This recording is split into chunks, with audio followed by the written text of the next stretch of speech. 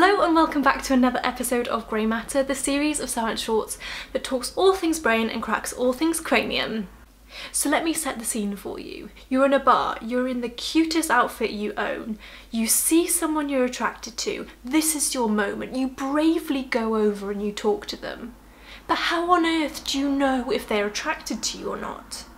Well, our brain gives off some involuntary signals that gives us some clues to whether the person we fancy fancies us back. And I'm not just talking about someone twiddling their hair as they talk to you or laughing excessively over every stupid joke you make. These are some signals that your brain gives off to let someone know that you fancy them. And a pretty telltale sign is all in the eyes because your pupils dilate when you're talking to someone you're attracted to. And there's two reasons to this. One of them being we want to get as much information in as possible about the thing we're interested in, and in this case, it's the person you're talking to. And the second reason is we want to look more attractive, and humans tend to find things more attractive if they've got bigger pupils.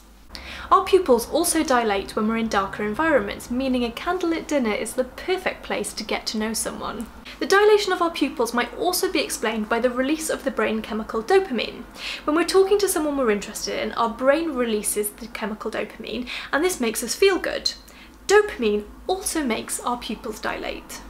We'll also start copying one another because this is a sign of empathy and that we want to form a social bond. So we start mirroring each other's body language, facial expressions and speech patterns. And this happens super fast. Within 20th of a second of meeting someone you're interested in, you would have started copying them. Mirroring behaviour is a sign of intimacy and empathy and it uses our frontal cortex and a set of neurons called mirror neurons and this helps to form bonds with one another.